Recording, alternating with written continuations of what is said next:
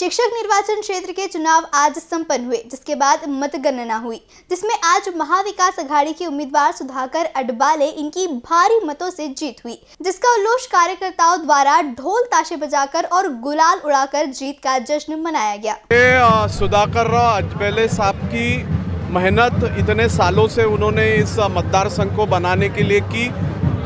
तमाम शिक्षक संगठनाएँ और घी में शक्कर महाविकास आघाड़ी कांग्रेस राष्ट्रवादी कांग्रेस रा, शिवसेना ठाकरे गढ़ ये सभी लोगों की मेहनत आज काम में आई है। और साथ में तमाम कांग्रेस के कार्यकर्ता राष्ट्रवादी कांग्रेस के कार्यकर्ता सबने बहुत मेहनत की और आपने देखा होगा कि अभिजीत वंजारी के इलेक्शन में और इस इलेक्शन में जो भारतीय जनता पार्टी के जो इंटेलेक्चुअल फोर्सेस थे, अब वो इंटेलेक्चुअल फोर्सेस कांग्रेस के तरफ़ आए, ये सबसे बड़ी जीत है। देखिए, चुनाव तो हर एक होता रहता है, हर चुनाव से बोध लेना पड़ता है। हमने अभिजीत वंजारी के चुनाव से ये चीज़ जान, जानकर हमारे को ये हुआ कि अगर हम सब लोग एक संग रहे और सभी यूनिट को एकत्रित किए तो निकाल अपने बाजू में लग सकता है। और अभी आप देख रहेंगे, आज राज्य में सभी जगह भी अमरावती की भी सीट, ये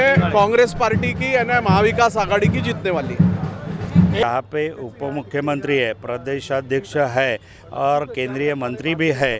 उनके क्षेत्र में एक सामान्य लोगों को लेके धनशक्ति के अपोज में जनशक्ति का हक विजय है, ऐसा मैं मानता हूँ। बारह साल की में विद्यमान प्रतिनिधि जो थे, उनकी भूमिका स्पष्ट नहीं थी। पुरानी पेंशन के बारे में उन्होंने कोई ठोस सभागृह में विविध इसके विविध आयुक्त के माध्यम से प्रश्न उपस्थित नहीं किए थे।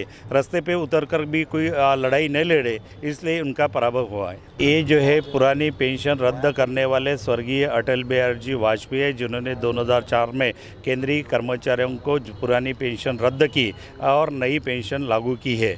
यहाँ पे शीतकालीन अधिवेशन में विद्यमान उप मुख्यमंत्री ने कहा था, इस राज्य के कर्मचारियों को, शिक्षकों को, हम पुरानी पेंशन नहीं नहीं दे सकते। और विद्यमान प्रतिनिधि नागो गानार साहब, जिनको बीजेपी का समर्थन था बीजेपी की स्पष्ट भूमिका थी है कि इस राज्य के कर्मचारियों को शिक्षकों को हम पुरानी पेंशन नहीं दे सकते। और उस माध्यम से ये चुनाव और लड़ रहे थे, इसके लिए, इसलिए उनका पराभव हुआ है। हमारे शिक्षकों का विजय है, हमारी एकजुट का विजय है।